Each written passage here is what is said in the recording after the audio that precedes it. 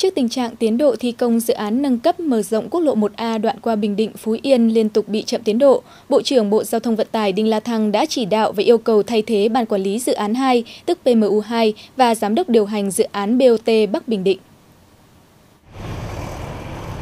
liên quan tới dự án nâng cấp mở rộng quốc lộ 1A đoạn qua Bình Định, Phú Yên, Bộ Giao thông Vận tải cho rằng toàn bộ dự án nói trên đang triển khai với tiến độ rất chậm. Bên cạnh một số nguyên nhân khách quan, lý do chính khiến dự án bị chậm tiến độ là do ban quản lý dự án không nắm rõ việc trong quá trình triển khai, trong khi nhà đầu tư thiếu cả năng lực quản lý lẫn tài chính, các nhà thầu thi công trì trệ do không đủ máy móc và nhân lực.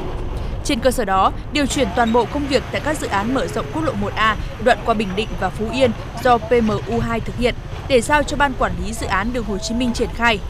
Đối với hai dự án BOT Bắc Bình Định và Nam Bình Định, yêu cầu các cơ quan chức năng giả soát lại năng lực nhà đầu tư, nếu không đáp ứng được yêu cầu về tài chính thì sẽ đưa các lực lượng khác vào làm. Theo Bộ trưởng, điều quan trọng nhất là các dự án quốc lộ 1 và đường Hồ Chí Minh qua Tây Nguyên sẽ phải thông xe vào cuối năm nay. Hai dự án BOT của đoạn tuyến này nếu cần thiết sẽ dùng vốn dư trái phiếu chính phủ để đưa vào làm. Đáng chú ý, đối với dự án BOT Bắc Bình Định, yêu cầu thay thế ngay giám đốc điều hành của dự án này, đồng thời cũng khẳng định các nhà thầu trên tuyến hiện đang thi công chậm sẽ bị cắt chuyển khối lượng công việc, còn những nhà thầu yếu kém sẽ được mời ra khỏi dự án.